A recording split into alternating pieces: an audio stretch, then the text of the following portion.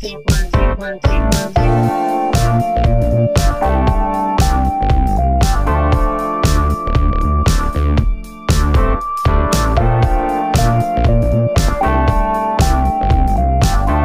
Peugeot 5008, the French carmaker's flagship SUV, presently stands out in the Peugeot range as the only SUV model sold sans a hybrid powertrain. However, with the upcoming third generation 5008, the French automaker hopes to not only address the issue but also introduce a Peugeot E5008.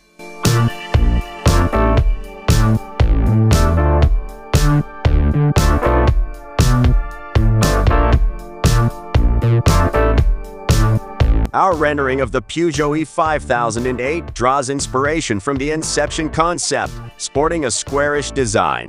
Peugeot's former design chief Gilles Vidal had told Auto Express in 2020 that the third generation 5008 will prioritize practicality, moving towards a squarish design that will still look amazing.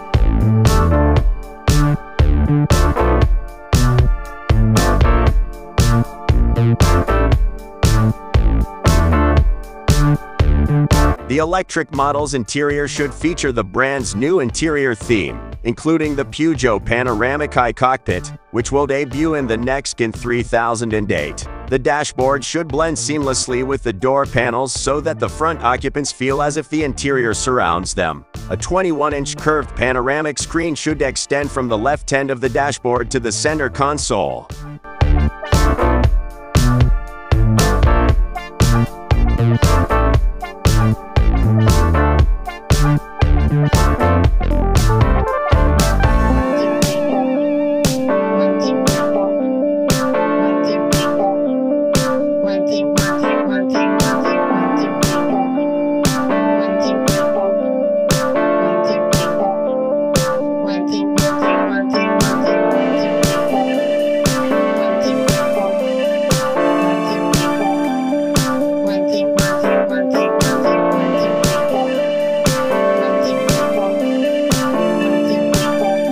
The Peugeot E5008 will be built on the STLA Medium, which will debut in the Peugeot E3008. Products based on the STLA Medium will have a range of up to 440 miles and battery capacities ranging from 87 kWh to 104 kWh.